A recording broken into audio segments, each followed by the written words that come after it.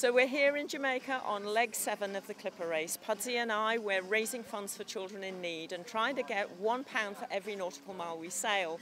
So since San Francisco to Jamaica, we've raised over £3,000.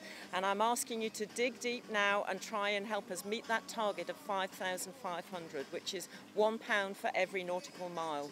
So please be generous, dig deep and just go to justgiving.com forward slash Lesley Johnson 61 and help us meet that target. Pudsey and I, raising funds for children in need.